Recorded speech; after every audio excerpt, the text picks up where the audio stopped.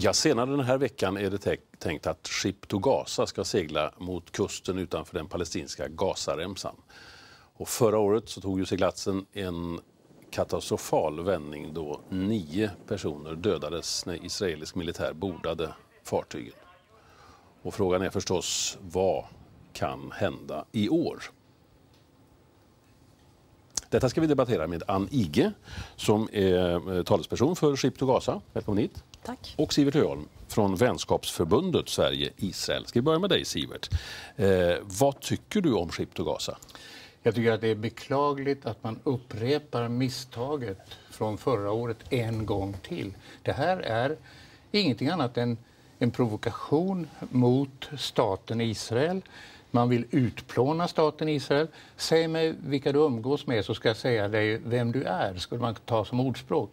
Här umgås alltså besättningen, de svenskar som åker dit, de stöttar en terroristregim, Hamas, i Gaza. Och därmed är de hycklare. De vet okay, att de vill utplåna staten Israel. Det är Annie, det som är syftet. Vad, vad säger du om det här?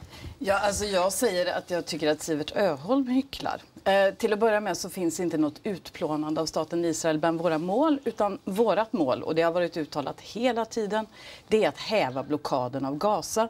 Den blockaden innebär att en och en halv miljon människor i nu närmare fem år har varit instängda. Eh, den blockaden har faktiskt, alltså att försvara den blockaden det är att försvara kollektiv bestraffning av en civilbefolkning. Nej, men det är också att blunda för verkligheten, Ann, som du gör nu och som de svenskar som är där gör. Det är därför det är hyckleri. De vet att blockaden är till för att förhindra att Iran förser terrororganisationen Hamas med vapen. Det är inte något annat man hindrar. De väljer också blockad, Blockaden mot Gaza har ju fördömts eh, som folkrättsvidrig av eh, FN och EU och även av Sverige. Blockaden har dels lättats väldigt mycket. Jo, men, men, men blockaden, vänta nu. Har, har, blockaden, de har fördömt den som brott mot folkrätten. Ja, det har man inte alldeles entydigt gjort. Man har rätt att faktiskt göra på det här sättet. Man har dessutom rätt också att stoppa den här flottiljen. Men du, Annie, det, det, det, alltså, men det här är ju det här är faktiskt dumheter därför att blockaden har fördömts av FN, av den svenska regeringen, av EU. Det vill säga, det finns ingenting som säger det. Och det här talet om att man har rätt att stoppa, det bygger på idén, det, det finns en paragraf om att man har rätt att upprätta en sjöblockad om man ligger i en väpnad konflikt, alltså ett ja. öppet krig. Vad, vad kallar du det, det här fallet. för konflikt då? Om 10 000 missiler under några år riktas från Hamas till Israel. Är inte det en väpnad konflikt? Det är inte det är en väpnad konflikt mellan Israel stater därför att Palestina har inte fått erkänna. Men det här spelar faktiskt...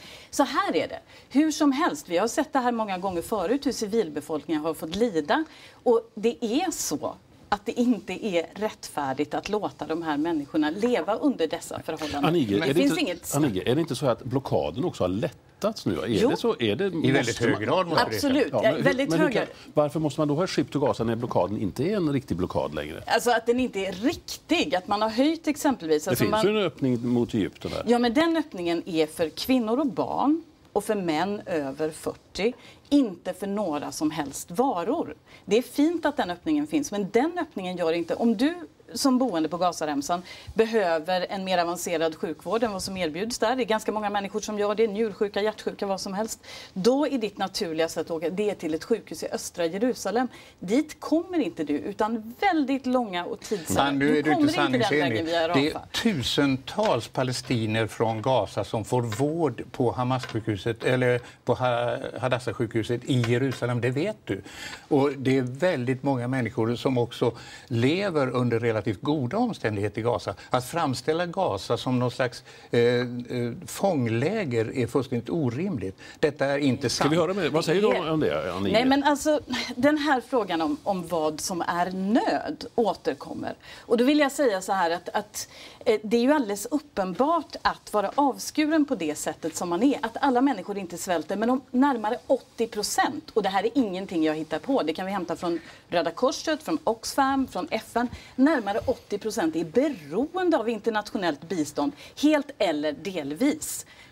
Är inte det ja, humanitär vem, nöd? Vem är orsaken? Vad föder Vem är orsaken? Vem är orsaken? Skulle du säga att det är Sivert Israel? Öholm. Nej, men Sivert Öholm är inte orsaken. Men däremot jag- Hamas är orsaken. Hamas Ska vi- är ska en det? terroristregim som det håller spelar sitt ingen folk i roll, för förtryck. vi Det har inte du. rätt att lämna en civil, civilbefolkning att, att lida, Nu ska jag bara, oavsett nu, vem det är som anses ja, nu, nu, får jag Nu bara, nu, ska jag, nu ska jag fråga dig här Sivert. Ja. Försvarar du det som Israel gjorde när, när nio personer dödades förra året? Jag säger som FN-rapporten att Israel hade legal rätt att ingripa men också Försvarar du att de, dö, De att använde nio personer dödades? övervåld det, eh, vid det tillfället. tar- tar Alla människor som dödar, du måste ta avstånd från varje dödande i varje situation. Det, är- du, kan det hända samma sak igen? det är klart att det kan hända, men återigen, om Hamas skulle erkänna Israels rätt att existera, om Hamas skulle sluta med sina missiler mot Israel, om Hamas skulle släppa Gilad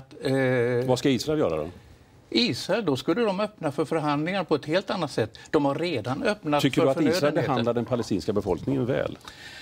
Eh, Det är inte Israel som behandlar den palestinska folk, befolkningen, det är ju faktiskt Hamas. Det är terroristledarna där. Vad tycker, de talar om dödar Israel. Vi talar om Israel. Vad, vad, tycker, vad tycker du om Israel? Alltså, hur behandlar de palestinierna? Om du skulle beskriva det. Om du tar de palestinier som finns och som är medborgare i Israel, de har fullständiga rättigheter, de har mänskliga rättigheter, de, de har demokratiska rättigheter. Kan de, röra sig, in- kan de röra sig fritt?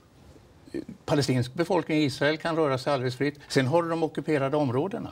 Och där finns det då begränsningar och eh, blockader. nu är det så här, vem som har mänskliga rättigheter, alla människor har mänskliga rättigheter. Ja, men inte Alltså, i det är Gaza. inte upp till... Inte i Gaza. Jo, I- nej, men- mänskliga rättigheter tillhör alla människor. Anige, Detta står i FNs får jag fråga dig, deklaration. Du är, är det inte risk att ni, att ni stöder terrorism genom er Ship to Gaza? Finns Nej. det någonting i vad Sivert säger här? Nej, alltså, Sivert kan prata mycket om Hamas. Vi har ingenting med Hamas att göra. Oh, vad löjligt vi att säga på det sättet. Nu får du inte- låta Ann prata färdigt. Vi stödjer inte Hamas. Nej, det finns ingenting som, som säger Men kan att det vi stödjer uppfattas som att ni stöder terrorister? Alltså, vi fick ett stöduttalande från 42 stycken civilsamhällesorganisationer i Gaza för den 12 juni som kom till hela Frihetsflottan. Inklusive lärarföreningar, kvinnoorganisationer och så vidare som kräver ett absolut slut på blockaden nu och som uttalar sitt stöd. Hoppas att vi ska fortsätta segla. Ja, visst, vi har ett stort stöd och nej, vi stöder inte. Jag hoppas Sivert, på... allting har ett slut förstår Ja. Och nu har denna debatten tagit slut. Menar du det? Det är Ja, vår tid är ute. Tack så mycket för en mycket spännande och intressant debatt. Tack, Tack. för att ni kom hit.